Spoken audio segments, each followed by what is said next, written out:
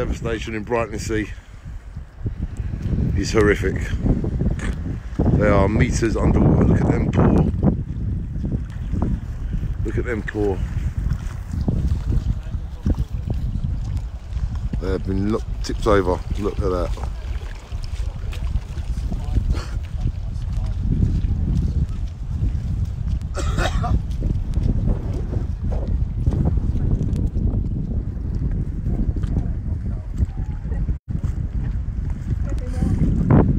It's like Armageddon. It is like Armageddon. can't I can't It is unbelievable. It? It's unbelievable. Yeah, but not this bad. I thought, not. I couldn't believe it. Brighton look. Poor Brightlingsea. The car is underwater.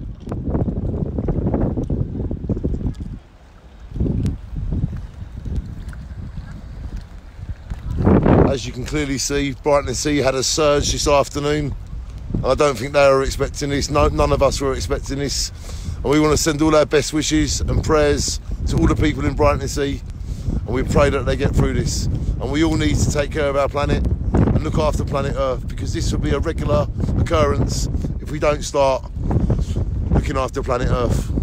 We pray for Brightlingsea. Scotty, do you you said? Send a prayer to Brightlingsea. Yeah, um, pray on, pray on the people around Brightlingsea and um, we, like said, we've got to do something about global warming because it's like it's going to come a common occurrence and we have to do something about it. Really, are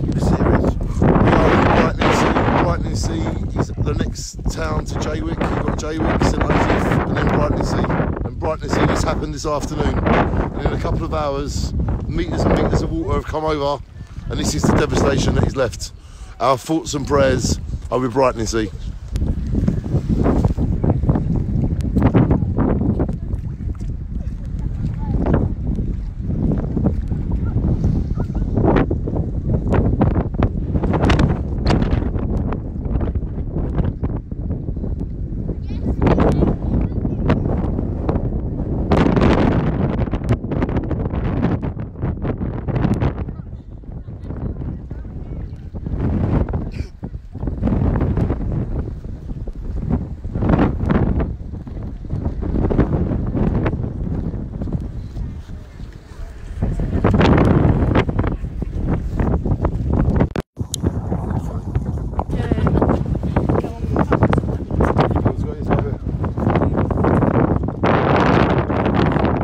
Devastation is everywhere.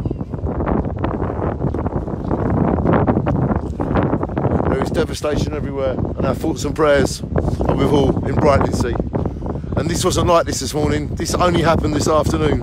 And if this can happen a day after Storm Ciara, then think what happened during it.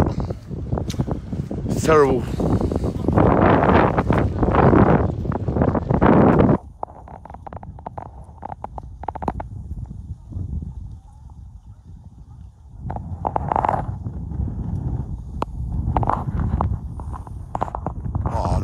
The devastation over here. Let's got you hold that double handed.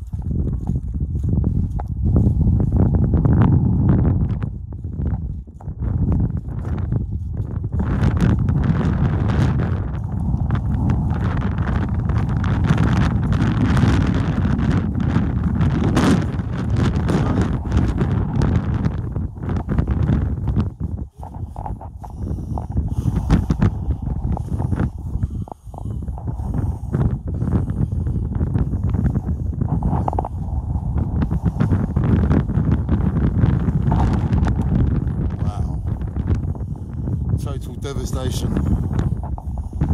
all around Scott.